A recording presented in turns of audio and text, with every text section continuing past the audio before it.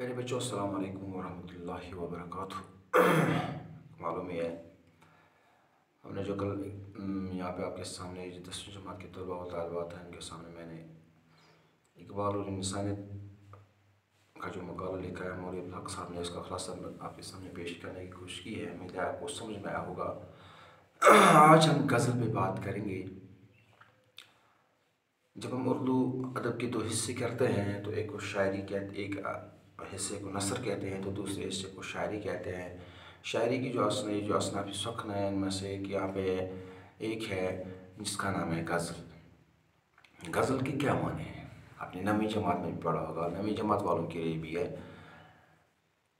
غزل سے جب ہم لغت میں غزل سے دیکھتے ہیں، لغت میں غزل سے مراد ہے عورتوں سے باتیں کرنا، عورتوں کے متعلق باتیں کرنا۔ شاعرانہ اصطلاح میں جب ہم غزل کے بارے میں بات کریں گے، شاعرانہ اصطلاح میں غزل سے مراد وہ اشعار ہیں جن میں شعرا لوگ عاشقانہ معاملات جیسے گل و بلبل ہجر و وصال، شراب و شمع، عشق و عاشقی وغیرہ جیسی موضوعات کو زیر بحث لاتے ہیں۔ لیکن زمانے کے بدلتے ہوئے مزاج کے ساتھ ساتھ ہر ایک چیز بدل جاتا ہے، اس طرح غازل کا دائرہ جو ہے وسیع سے وسیع تر ہوتا گیا۔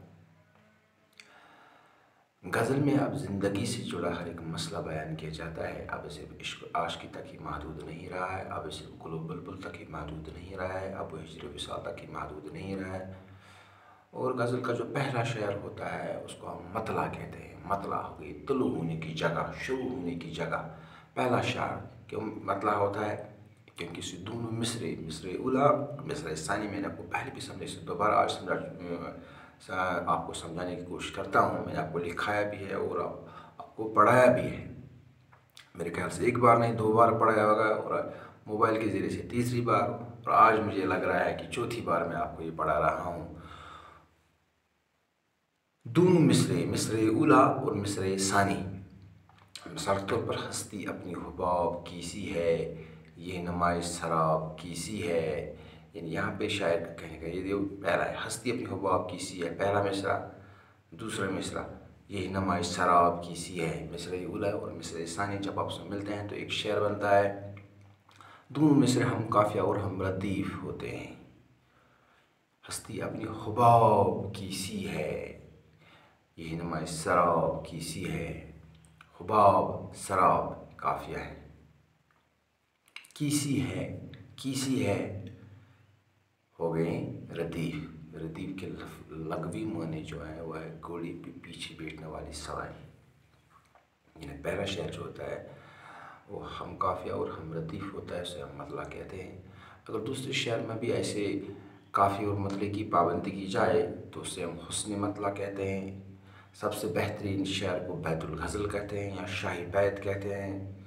اور جو سب سے آخری شعر ہوتا ہے جس میں کوئی شاعر اپنا تخلص استعمال کرتا ہے اس کو کہتے ہیں مکتا مکتا ہو گیا، منقطع کرنا۔ یہ جو غزل ہے یعنی غزل کے آخر شعر شعر اپنا تخلص استعمال کرتا ہے، اسے مکتا کہتے ہیں۔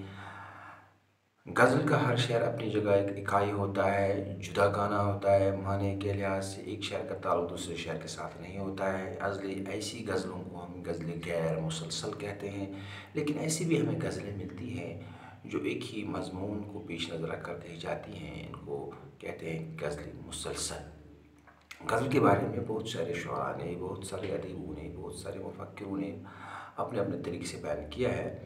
رشید احمد صدیقی نے غزل کو اردو شاعری کی آبرو قرار دیا ہے۔ جبکہ ہم پروفیسر عالم مسرور نے کہا ہے، غزل چاور پر کل والا لکھنے کا فن ہے۔ یعنی غزل ہی ہے جس نے پوری دنیا میں اگر اردو ادب کی کوئی جان پہچان ہے، اگر اردو ادب کی کوئی آبرو ہے، اگر اردو ادب کی کوئی عزت ہے، تو اس غزل کی صنف کی بدولت ہی ہے۔ اور یعنی اس طریقے سے آپ کے سامنے میں نے غزل کو پیش کیا ہے۔ غزل لغوی معنی ہیں اور دوسری باتیں کرنا، شاعرانہ اصطلاح میں غزل سے مراد وہ اشعار ہیں جن میں شعرا لوگ عاشقانہ معاملات جیسے گلوب بلب و ہجر و وشال شراب و شمع وغیرہ جیسے موضوعات کو زیر بحث لاتے ہیں۔ اور لیکن زمانے کی بدلتے ہوئے مزاج کے ساتھ ساتھ غزل کا دائرہ وسیع سے وسیع تر ہوتا گیا۔ اب غزل میں زندگی سے جڑا ہے ایک مسئلہ بیان کیا جاتا ہے۔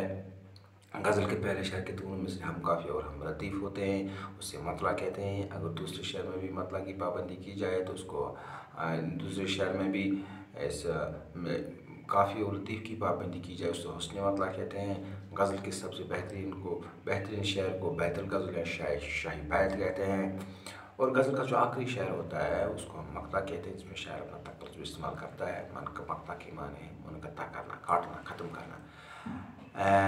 غزل کا ہر شعر اپنی جگہ اکائی ہوتا ہے، بالکل الگ الگ ہوتا ہے۔ معنی کے لحاظ سے ایک دوسرے کے ساتھ کوئی تعلق نہیں ہوتا ہے۔